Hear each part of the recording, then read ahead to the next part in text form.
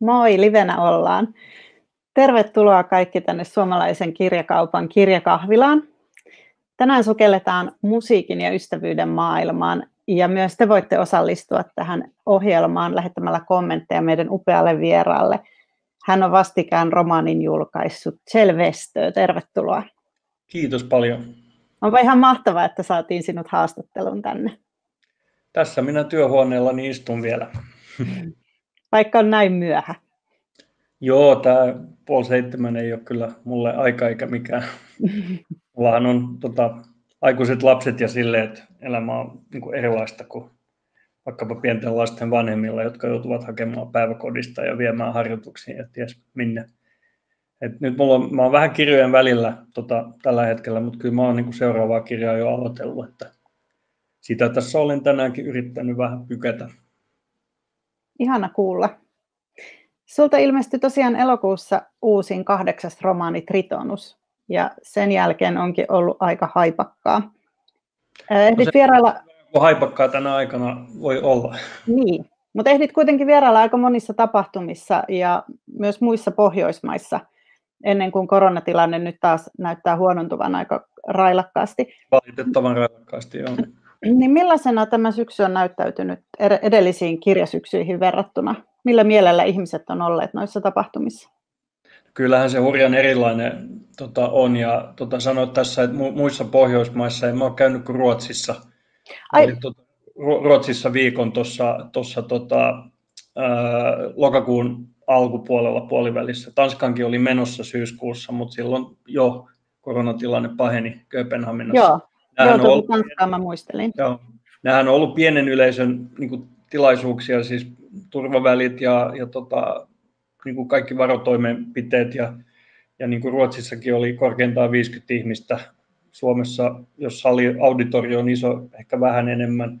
Kaikesta huomaa, että ihmisillä olisi hirveän nälkä mm. noin niin yleisesti ottaen niin kuin kulttuurirentoihin mennä. Ja niin kuin todella semmoinen lämmin tunnelma on ollut niissä niissä tota, tilaisuuksissa, ihan niin kuin mä oon kuullut, että teattereissakin kuulemma on siellä maskien takana lämmin tunne. Niin. Mutta kyllähän tämä samalla semmoinen, eilenkin kun me oltiin Itkosen Juhan kanssa Hämeenlinnan kaupunginkirjastossa esiintymässä, ja sitten mä ajoin kaatosateessa takaisin Helsinkiin. No, Suomen marraskuu nyt on muutenkin niin kuin vähän surumielinen ja tummasävyinen, mutta kyllähän tämä aika painaa jotenkin jättää varmaan jälkensä meihin kaikkiin.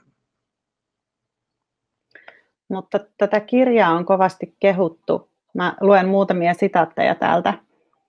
Ruotsalainen Svenska Dagbladet linjasi heti, kun tämä kirja ilmestyi, että Kjell Westö osoittaa jälleen kerran olevansa sukupolvensa tärkeimpiä pohjoismaisia kirjailijoita. Aamulehti totesi, että Tritonus on vaikuttava, koskettava elämän ja yhdessä tekemisen ylistyslaulu, ja Turun Sanomat kirjoitti, että Tritonus ylittää, ylistää musiikin eheyttävää voimaa. Svenska Yle Tritonuksessa on toivoa ja luottamusta, ystävyyttä ja lämpöä. Ja Tritonushan voitti myös Svenska Ylen kirjallisuuspalkinnon.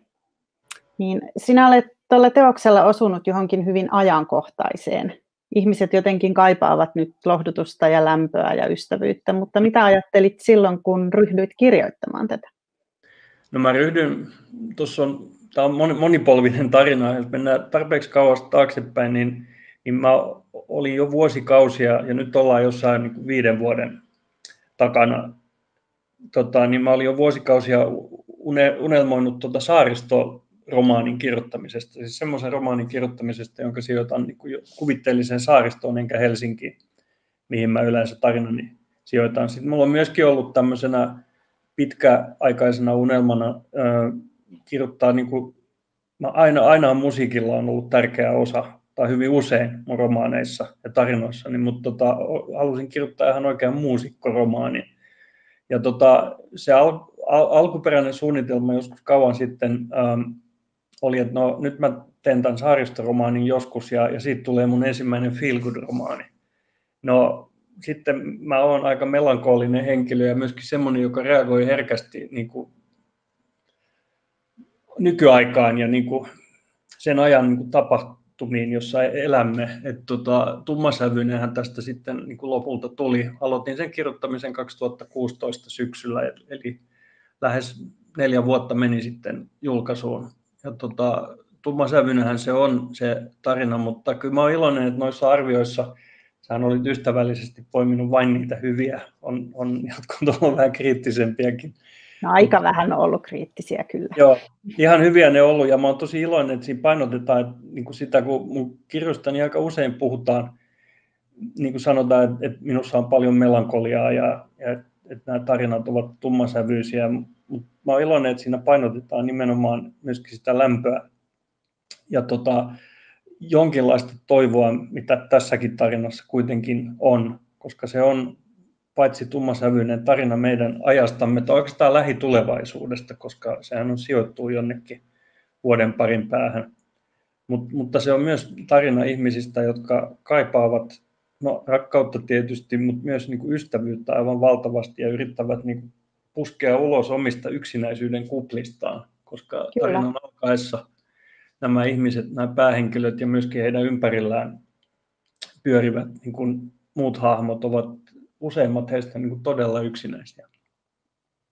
Joo, tässä kuvataan kahden tällaisen aikuisen yksinäisen miehen aika omalaatuista ystävyyttä. Ja Thomas Brander on huippukapellimestari ja hänen suosion päivänsä ovat alkaneet vähän jo hiipua.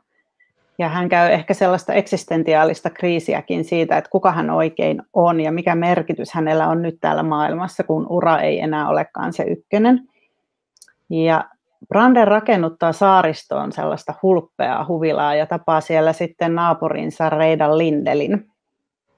Ja Lindelhän on puolestaan tällainen harrastelijamuusikko, joskin hyvin kunnianhimoinen harrastelijamuusikko yhtiössä nimeltä, nimeltä Rainbow. Miksi halusit kuvata tällaista myöhäiskeski-ikäisten miesten ystävyyttä? No se tuli niin kuin aika luonnostaan, koska nämä mun tarinat lähtee aika vaistomaisella tavalla liikkeelle aina. Että hyvin tyypillistä mulle, ei se ihan aina mene niin, mutta hyvin tyypillistä mulle on, että saa jonkun, jonkinlaisen tommosen, niin kuin valaistuksen hetken tai koen sellaisen ja sitten menen niin kuin kirjoituskammioon ja sitten syntyy kirjan alku tai alusta muutama luku hyvin niin kuin nopeasti. Ja niin, niin kävi tälläkin kerralla, että ei se kauhean suunniteltua oli, ollut, mutta sitten kun mä huomasin, niin kuin, mitkä lähtökohdat mä olin tälle tarinalle luonut, että Brander, tämmöinen rikas anywhere, joka on elänyt semmoista nomadielämää uransa ehdoilla, rakennuttaa palatsin sinne saaristoon ja saa naapurikseen semmoisen vähän, vähän nukkavierun koulukuraattorin ja harrastemuusikon, joka on sitten kuitenkin kauhean ekstrovertti ja tämmöinen niin haluaa kauheasti tehdä hyvää siinä.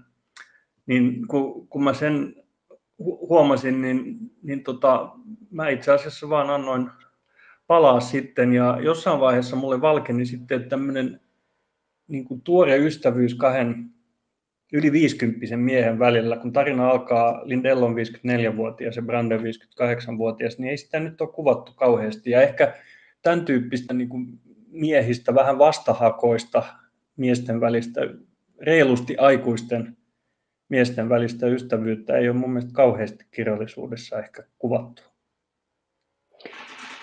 Branderhan määrittää itsensä hyvin pitkälti työn kautta tässä ja hänen on vaikea luopua siitä asemasta, joka hänellä on ollut. Ja hän on toisaalta tämän ristiriitaisuuksia, että hän on hyvin egoistinen ja haluaa, että hänet nähdään, mutta sitten kuitenkin aika introvertti. Ja Lindel taas tosiaan hyvinkin ekstrovertti. No Brander rakentaa sitten sitä valtavaa huvilaa sinne saaristoon ikään kuin pönkittääkseen ehkä sitä, sitä itsetuntoaan tai kuvatakseen sitä suuruttaan. Mutta sitten samalla hän, hän, hän kuitenkin vähän häpeää sitä omaa pröystäilyään. Että hän esimerkiksi rakennuttaa sinne talonsa sisähissin, mutta kuitenkin menee yläkertaan portaita pitkin. No Onko se johtuu myöskin siitä, että hän pelkää sähkökatkoa. ja jää sinne hissiin. Hän jää sitten sinne hissiin, eikä kukaan kaipaa häntä. Niin, aivan. Onhan, onhan se Kaasa Tritonus, sehän on myöskin se, se talohan on antanut koko kirjalle nimen. Tritonushan on myöskin musiikkiintervalli, hyvin uhkaava sellainen, että se on, siinä on monta tasoa siinä kirjan nimessä, mutta kyllähän se talo jotain symboloi Branderille ja myös mulle.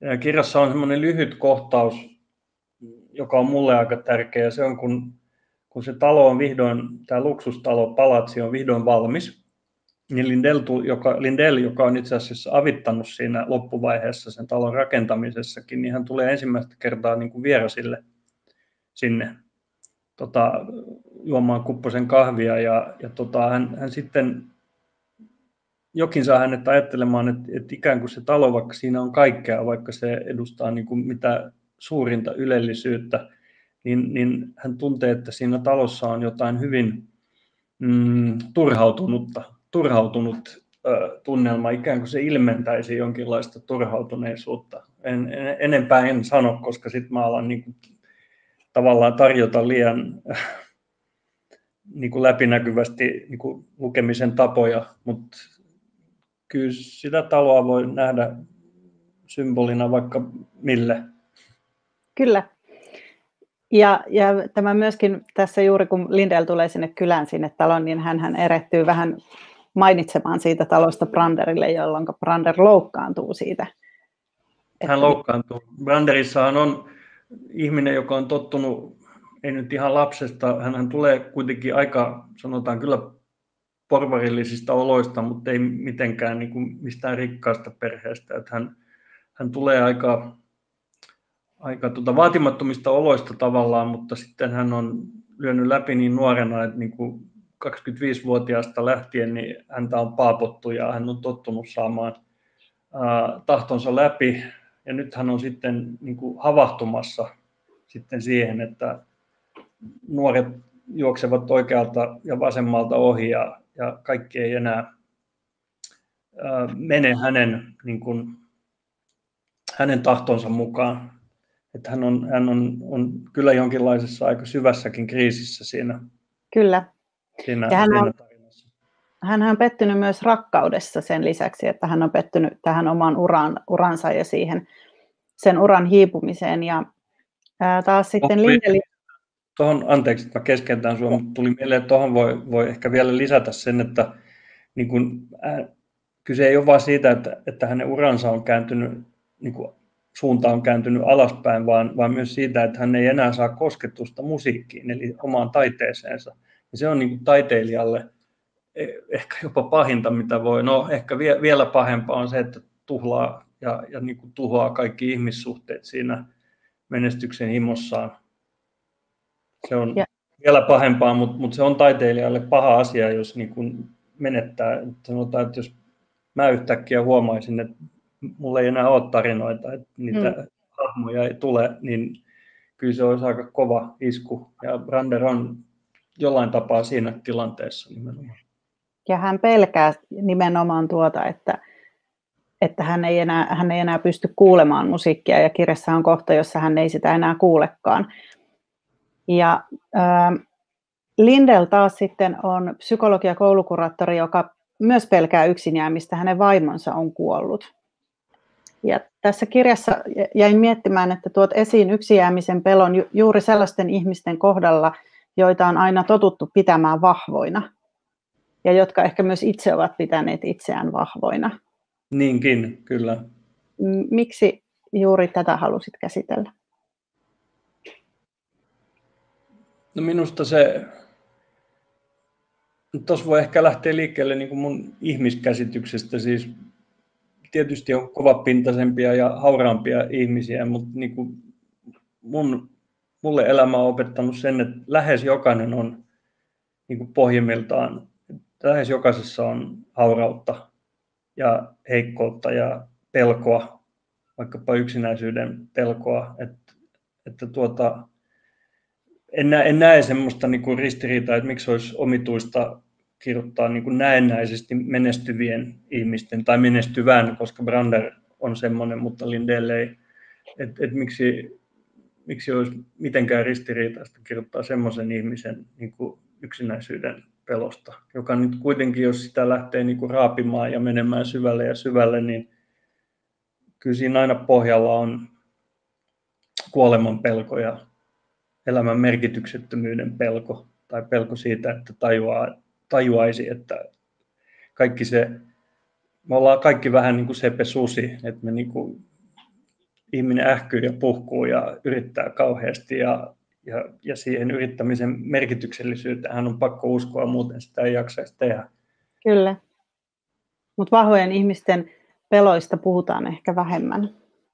Niitä... Puhutaan, joo, mutta kysymys on sitten siitä, että mikä, kuka on vahva ihminen. Tuosta mulla on kyllä vähän omakohtaisiakin kokemuksia, koska sanotaan, että elämä, varsinkin työelämä ja ura on mennyt silleen, että, että niin kuin tietää edustavansa niin kuin semmoista kuvaa, että tuolla nyt menee aina hyvin ja silleen, mutta itse mä tiedän kuka mä oon ja miten pelokkaasta lapsesta mä oon lähtenyt liikkeelle ja niin kuin rakentamaan elämää, niin siis mä en tällä tarkoita, mulla oli hyvä, hyvä lapsuus kaikin tavoin, mutta niin kuin psyykeni ja persoonallisuuteni oli ja on sellainen, että mä pelkäsin lapsena melkein kaikkea.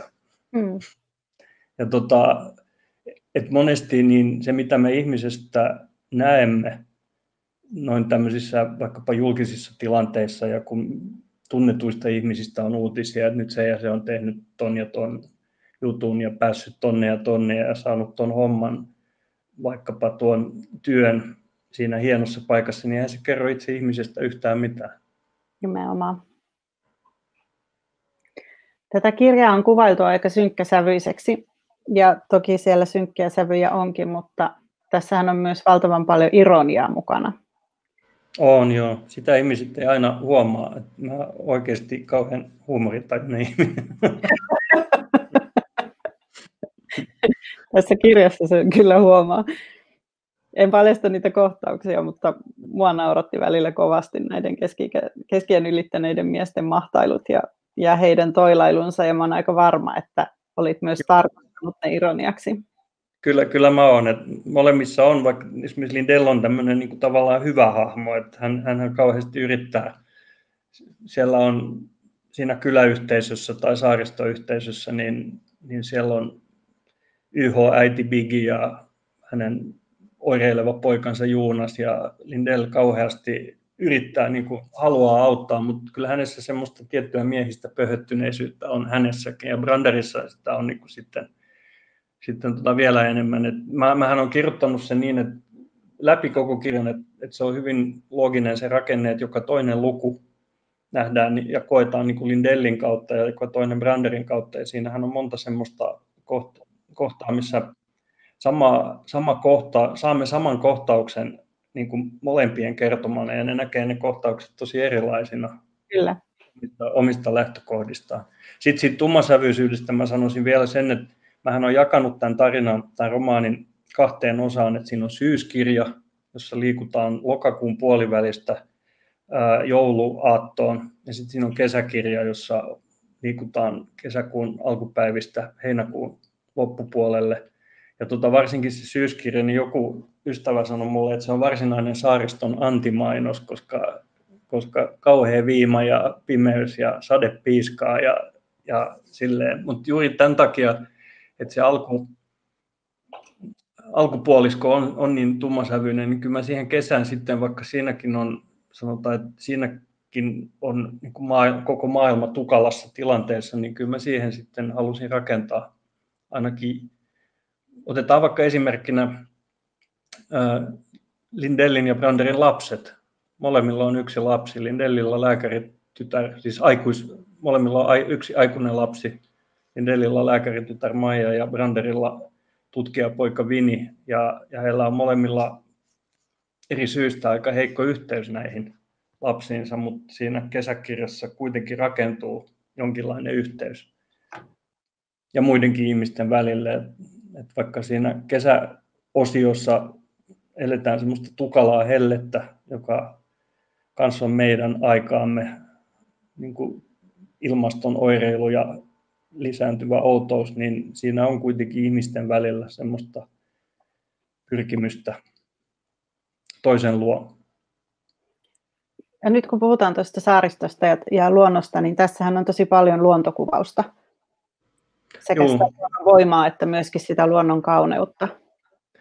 Joo, mä joskus, mä oon saanut kuulla ihan niin urani alusta, että mä kirjoitin jo vuonna 2000 tuli semmoinen romaani kuin Isän nimeen, joka, jonka sijoitin tosiaan itse asiassa Helsingin ulkopuolelle senkin, että niin kuin pieneen kylään Helsingin itäpuolella, jonka Helsinki sitten pikkuhiljaa nielaisee. Ja siinäkin oli paljon luontokuvausta. Tein sen kirjan yhdestä isähahmosta, intohimoisen kalastajan. Ja sitten jotkut kirjallisuusihmiset tuntuvat olevan sitä mieltä, että ei niitä niin kuin miljöökuvauksia tarvita ollenkaan, että pitäisi vaan olla ihmisten niin kuin pään sisällä koko ajan, mutta mehän ollaan osa luontoa. Ja tietysti tästä tulee ilmi sitten myös se, kuka minä pohjimmiltani ää, olen, koska mulla on tämä maine niin kuin urbaanin Suomen kuvaajana ja Helsingin historian kuvaajana, mutta mähän olen ensimmäisen polven stadilainen ja suku molemmat vanhemmat varttuivat Keski-Pohjanmaalla ja,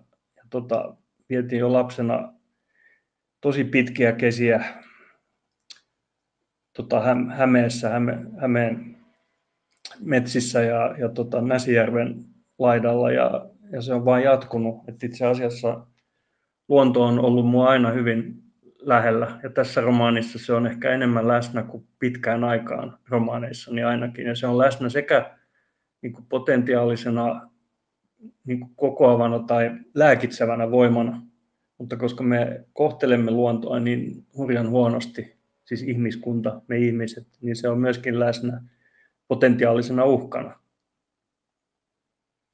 Tämän luonnon, luonnon uhkien ajankohtaisuuden lisäksi tässä on myös muita yhteiskunnallisesti ajankohtaisia aiheita. Ja tässä on esimerkiksi sivutaan tätä Me Too-asiaa. Eli kapellimestari Brander joutuu vastaamaan tällaisiin syytöksiin Me. Ja hän ei suinkaan ole täysin syytön niihin syytöksiin. Ei, ei hän ole. Ei hän ehkä niin kuin pahimpia tekijöitä ole, mutta ei hän ole. Kun kirjoitin tätä romaania, Miitu hän alkoi liikkeenä syksyllä 2017, jolloin olin niin kuin kirjoittanut tähän romaanin kohtauksia vuoden verran.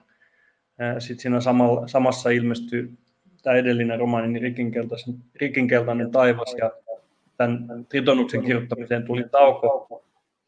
Tietysti totta kai heti kun MeToo tuli ja kun Ranner oli kapellimestari, niin kuin kulttuurin tämmöinen niin kuin iso hahmo. Ja olemmehan me nähneet, että maailmalla niin useat kuuluisat operalaulajat, orkesterin johtajat saivat sitten, tai jäivät kiinni. Kyllä erittäin huonosta käytöksestä ja, ja pahoista teoista, niin totta kai se tuli mukaan ihan luonnostaan. En minä sitä niin kuin mitenkään ää, niin kuin suunnitellut, vaan, vaan kun Brander on siinä uransa alamäessä, niin se, että miituillakin on tekemistä ää, asian kanssa, se on tässä ajassa verraten, se on varsin luonnollista. Ja sitten just kun sä sanoit, että ei hän ole syytön, hän pitää itseään syyttömänä. Hän on niin kuin aika äimänä, että mik, miksi nyt minä, kun se mitä mä oon tehnyt on niin pientä, mutta hän on, hänhän on tota, käyttänyt ihmisiä niin kuin hyväkseen tota, siinä niin kuin nopeassa elämäntempossaan.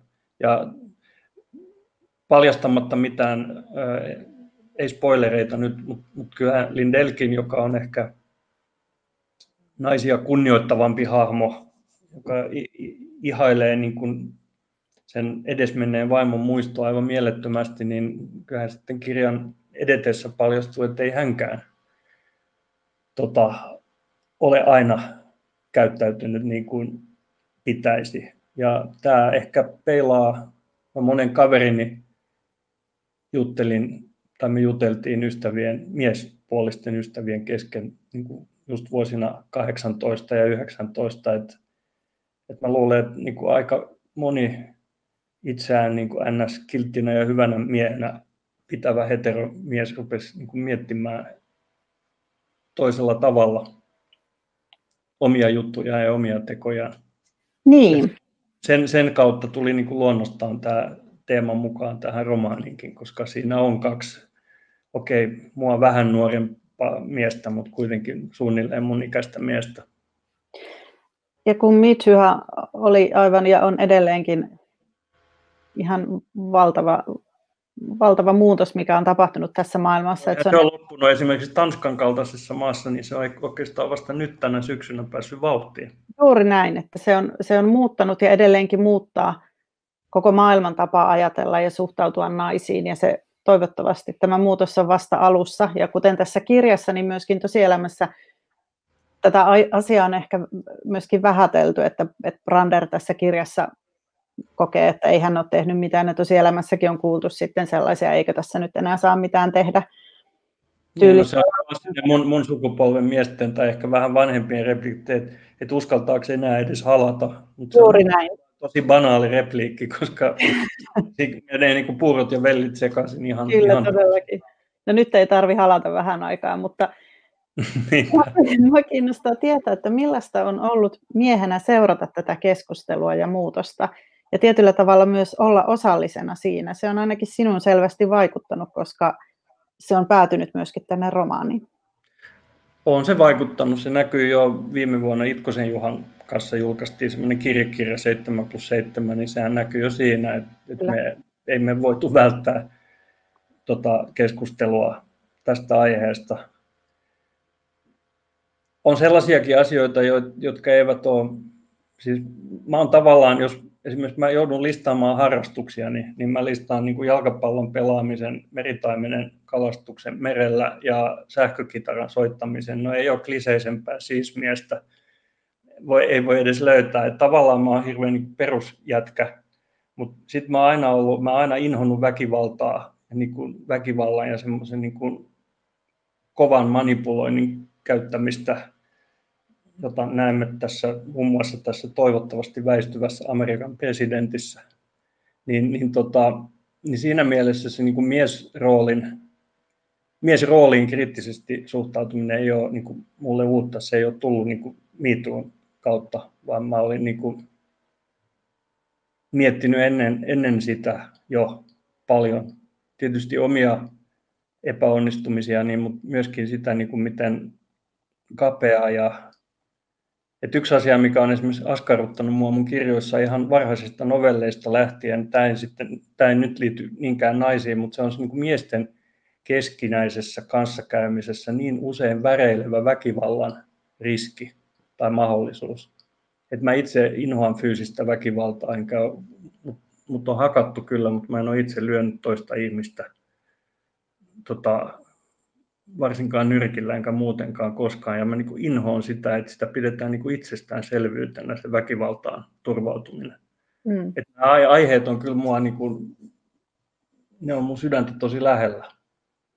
Mutta sitten tietysti minussa on semmoinenkin puoli miehenä, kyllä sen pakko se on myöntää, että ei mene hurskasteluksi.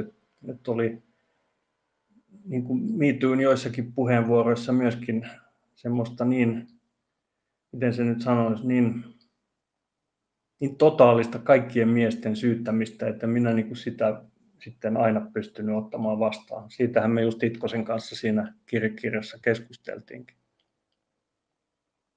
Tuosta väkivallasta tuli mieleen, että, että tässäkin kirjassahan on tämä poika, tämä Bikin poika,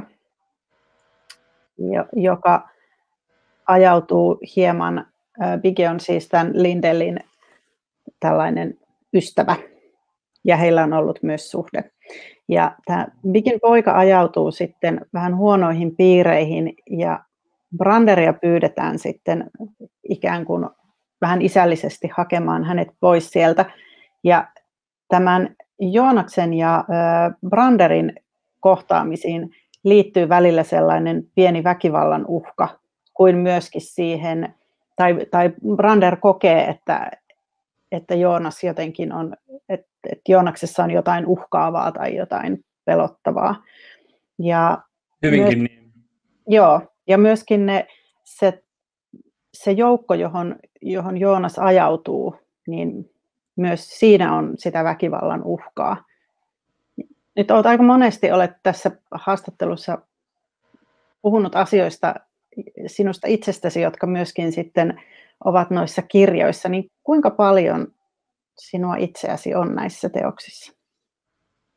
No totta kai näissä teoksissa voidaan puhua ihan yleisesti kaikista, jokaisesta Ei. kahdeksasta romaanista, niin en minä pystyisi luomaan niitä henkilöitä, jos en laittaisi niihin itseäni, omia ristiriitojani, omia ajatuksiani, omia pelkojani, omia unelmiani, mieltymyksiäni. Mutta se ei tarkoita, että kirjoittaisin itsestäni, vaan se on ehkä päinvastoin niin, että on mulla joskus ollut tämmöinenkin ajatus, että mä, minussa on niin paljon sisäisiä ristiriitoja, että se on oikeastaan, oikeastaan ollut mulle pelastus, että mä oon saanut kirjoittaa nämä romaanit ja luoda kaikki nämä hahmot, koska niihin mä pystyn niin purkamaan, että niistä tulee ehkä ehyempiä persoonallisuuksia välillä kuin minusta, koska mä niin yhteen purkaan niin kuin sen ongelmavyyhdin minusta itsestäni ja toiseen taas jonkun toisen ongelmavyyhdin.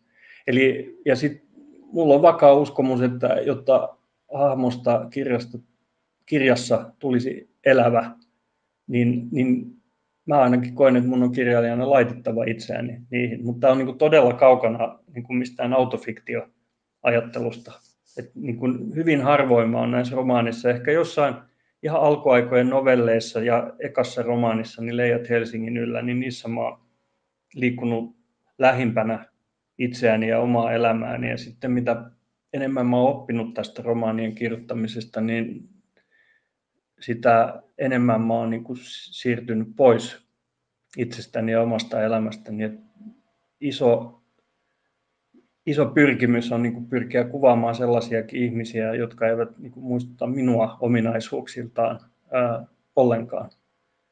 Tämä on yksi asia, joka kiehtoo tässä romaanien ja tarinoiden, novellien kirjoittamisessa. Et tietysti tässä liikutaan myöskin lähellä nyt sitä kulttuurisen apropriaat, apropriaat nyt mulla menee sanat sekaisin, mikä se Apropriaatio on kai se sana. Omiminen on se suomenkielinen. Joo, mä käytin lainasanaa. Niin siinä liikutaan niin kuin sen kulttuurisen omimisen niin kuin ongelman liepeillä nyt, että enhän minä kuvittele, että pystyisin maailmassa kaikkiin ihmiskohtaloihin eläytymään. On paljon mm. sellaista, josta mä tajuan, että en, tuohon en pysty, että eläytymiskyky ei riitä. Mutta sen sijaan mä en ole koskaan tuntenut vetoa kirjoittaa romaaneissa niin ikään kuin itsestäni, vaan päinvastoin mulla on psyykkiset mekanismit sellaiset, että, että tuota, niin kauan kun mä mietin itseäni tai mallina jonkun romaanihahmon, jonkun tuntemani ihmisen kautta, niin mä oon ihan lukossa. Sitten kirjoittamisesta ei tule mitään. Et siinä mielessä mä oon niin autofiktion kirjoittajan vastakohta lähes tulkoon. Yksi asia, joka tässä on todella, todella kauniisti, niin kauniisti kirjoitettu, että sen täytyy olla myös hyvin, hyvin henkilökohtaista, on musiikki. Ja musiikin voisi sanoa, että se on yksi tämän kirjan päähenkilöistä. On se. Hyvin, hyvin kauniisti kuvailtua, se on hyvin yksityiskohtaista ja se on niin, niin herkkää, että sen voi ihan, ihan kuulla ja tuntea, miten se musiikki soljuu samalla, kun lukee tätä kirjaa. Niin täytyy kysyä, että mitä musiikki merkitsee sinulle? No tuota, sanotaan läheisten ja rakkaiden ihmisten ja sitten kirjoittamisen lisäksi, niin se on se kolmas. Ja kyllä mä, mä, totta kai mä rakastan kirjallisuutta ja kirjoja ja tarinoita ja runoja. En mä jaksaisi kirjoittaa niitä enkä elää tässä niin kuin kirjallisuuden maailmassa muuten, mutta kyllä niin kuin jollain tasolla ehkä kuitenkin musiikki on mulle se ensimmäinen taidemuoto. Koska mä luulen, että niin kuin musiikki on ollut, en minä osaa sanoa, että onko musiikki ollut olemassa ennen luolamaalauksia vai ovatko luolamaalaukset olleet olemassa ennen musiikkia, mutta, mutta tota, mä veikkaan, että musiikki on ehkä se ensimmäinen, mikä on ollut. Et siinä, siinä on musiikin kautta totta kai kirjallisuutta pitää ensin kääntää, jotta sä pystyisit niin kuin kielestä. Mutta mä itse, vaikka mä en ole missään kauhean eksoottisissa paikoissa kauheasti matkustanut, mutta kuitenkin matkustanut paljon, niin itsellänikin on ollut sellaisia kokemuksia, että mä oon jossain kaukana kotoa ja soi, minulle vieras musiikki soi, ihmiset soittavat, laulavat ja mä vaikkapa rakkaudesta, koska siitä paljon lauletaan ja mä niin ymmärrän kaiken, vaikka mä en ymmärrä siitä kielestä sanankaan. Mä ajattelin kysyä, että kummasta luopuisit ennemmin, kirjoittamisesta vai musiikista, mutta ehkä se on selvää, vaikka vaikeaa. Se on kyllä vaikea. Tota, siinä on myöskin eri, tätä kirjoittamista mä teen niin kuin ihan ammatikseni ja eläkseni ja musiikki taas on mulle harrastus ja mä oon hyvin niin kuin kehnokin ää, amatöörimuusikko, että siinä menee ne tasot silleen sekaisin. Mä toivon, että tuota kysymystä ei koskaan esitetä mulle tai ei laiteta sen valinnan eteen. Toivotaan näin. Ähm, Tritonuksessahan mainitaan myös korona, mutta mm. teos sijoittuu lähitulevaisuuteen, jossa pandemia on jo ohi tai ainakin se on hallinnassa. Mutta tällä hallinnassa hetkellä, ehkä pikemminkin, joo. Joo, tällä hetkellä se tuntuu aika optimistiselta ajatukselta. Millaisena sinä näet tulevaisuuden nyt tässä tosielämässä? Tosi vaikea sanoa. Tästä, tästä syksystä tuli rankka ja kyllähän se oli odotettavissa ja, ja talvesta tulee pitkä ja, ja, ja pelottavakin. Mähän jouduin sen eteen keväällä, että mulla oli niin kuin valmis romaani, joka oli sijoitettu syksyyn 2019 ja, ja kesään 2020 tosin hyvin kevein siveltimen vedoin. ja sitten mä tajusin, että semmoinen kesä 2020, jossa pelataan miesten jalkapallon EM-kisoja ja Suomi on mukana ja, ja tota, käydään hikisissä niin kuin pubeissa hikisillä rokkeikoilla tanssimassa, niin eihän sitä ole. Että mähän mm. joudun siirtämään sen tarinan määrittelemättömään niin kuin lähitulevaisuuteen, vähän epämääräiseen sellaiseen. Ja nyt kun miettii, missä tilanteessa me ollaan nyt, niin ei tuo kohta ajassa, missä se romaani nyt on, niin ei se ole 2021 missään tapauksessa, onkohan edes 21-22, ehkä 22-23, siis syksy ja kesä. Ja mä yhdelle ystävälle sanoin jo varhaisessa vaiheessa, kun romaani oli ilmestynyt, että, että kun me ollaan niin keskellä tätä vielä ja nyt taas uutiset ovat niin kuin päivä päivältä, jos katsoo maailmanlaajuisesti niin kuin synkempiä, että koko Eurooppa on ihan liemessä, niin toihan on ihan, se ei ole mikään dystopia, se on utopia, koska tuossa romaanissa kuitenkin nämä päähenkilöt ovat, niin kuin, tai ihmiset ovat jotenkin selvinneet ja siinä voi jo tehdä asioita ja pitää kamarimusiikkifestivaaleja, kirkko täynnä yleisöä. Kyllä. Ja tota, vaikka se pelko kyteekin ihmisissä yhä, niin siinä en mä voi muuta sanoa kuin, että kyllä me nyt sit joku päivä ollaan päästy tämän läpi, mutta mut tota, katsotaan nyt tämä talvi ensin. Kyllä tässä, nyt mä kuulostan, mä olisin THL leivissä, mutta varovaisuuden aikaa kestää kyllä pitkään. Kyllä. Mutta ihan lähitulevaisuudessa on myöskin tulossa mukavia asioita. Koska Tritonuksessa on niin paljon musiikkia, niin teit siitä neljä Spotify-listaa. Kyllä. Ja ne listat on nähtävissä muun muassa Otavan sivuilla. Onko myös Förlag? sieltä, sieltä on Felagetin sivuilla myöskin ja sieltä, sieltä tota, löytää myös mun kommentit joka, Kyllä. joka kappaleesta. Et mä, mä lähdin tekemään silleen, että no mä, mä laitan tähän, niin kuin, että mä saa kestää yhden päivän tai kaksi ja sitten mä teen kaksi viikkoa niitä, kun mä sitten innostuin kirjoittamaan joka kappaleesta ja kun niitä listoja on neljä ja siinä on niin kuin suunnilleen 20 musiikkikappaletta per lista, niin, niin siitähän tuli puolikas kirja. että ne on pienoisesseitä välillä, mutta se oli hauskaa myös, tosi hauskaa. Ja se on kiinnostavaa ja ne listat on ihania. Mä oon kokkailun viikonloppu sinne kuunnellut niitä listoja. Joo, mä oon tosi iloinen, jos ihmiset löytää ne Joo. oikeasti.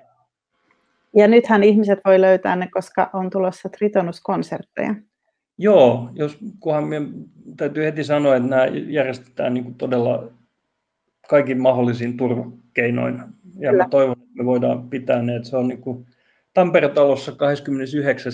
marraskuuta, Helsingin Savoiteatterissa ensimmäinen joulukuuta ja Turun Logomossa toinen joulukuuta. Ja, ja jos me vaan saadaan järjestää, siinä on Pauliina Ahokas ja Tampere-talo saaneet kokoon tosi hienoja muusikoita. Et siinä on tarkoitus yhdistää kirjallisuutta ja musiikkia, että mä, mä sitten myöskin luen, luen sitten otteita kirjassa siinä välissä. Et mä tosiaan odotan näitä, että kunhan me vaan saadaan pitää ne että tilanne ei nyt röystäydy käsistä, niin siitä tulee hieno lopetus tälle syksylle, koska sitten mä vetäydyn tota, joulurauhaa odottamaan. Toivotaan parasta. Ja nyt ihan loppuun täytyy vielä kysyä, että kun sunnuntaina on isänpäivä, niin onko sinulla jotain erityisiä isänpäiväsuunnitelmia? Joo, mulla on hyvin kirkas ja terävä isänpäiväsuunnitelma. Mä parin kaverin kanssa mennään lähes joka syksy taimenkalaan just näihin aikoihin ja itse asiassa se osui se viikonloppu aika usein isänpäivälle ähm, silloinkin, kun mulla oli pieniä varttuvia lapsia, mikä, ei, mikä oli ehkä minulta välillä aika itsekästä, mutta nyt me mennään pienellä porukalla tuota, taimenkalaan, että mä vietän siinä ulkomeren ihan lähellä laidalla sen sunnuntain ja toivottavasti saan tärpinkin. Vähän tällaisessa Tritonuksen maisemissa. Kyllä. Mä rakastan merta. Sen huomaa myös tuosta kirjasta. Sitten meillä on täällä muutama kysymys. Tritonus vaikuttaa tosi mielenkiintoiselta. Chell, onko sinulla jotain tiettyä lempikirjailijaa tai lempiteosta? Oi, ne, on, ne ovat muuttuneet niin kuin elämän varrella, kun näitä kilometrejä on jo takana tota, niin paljon. Ihan, ihan nuorena niin mun semmoisia vanhempia lempikirjailijoita oli suomenruotsalainen novelli Runar Schilt ja, ja sitten jossain vaiheessa luin todella paljon Milan Kundera ja Paul Osteria. Se niin kuin va- va- vaihtuu tavallaan tota, koko ajan ja mulla on vähän myöskin outo tapa lukea, että mä en niinkään seuraa välttämättä aina niin kuin muotivirtauksia. Et silloin muutama vuosi sitten, kun kaikki lukivat Elena Ferrantea, niin mä odotin. Ja tota, on vasta nyt aloittamassa. Ja Paitim Statovcin ensimmäistä teosta tai ensimmäisen Paitim Statovcin kirjanikin luin vasta nyt kesällä. Että, mutta kyllä tässä ammatissa sanotaan, että silloin kun mä kirjoitan intensiivisesti itse, niin mä en lue kauhean paljon kaunokirjallisuutta. Silloin, silloin mä luen enemmän tietokirjallisuutta ja ja vaikkapa runoja. Mut sitten näillä niin kuin välijaksoina niin mä ahmin kirjoja sieltä täältä. Englantilainen Julian Barnes on yksi mun suosikkikirjailija esimerkiksi. No sitten täällä onkin seuraavaksi kysymys, että mitä kirjaa suosittelisit isänpäivälahjaksi? Voi.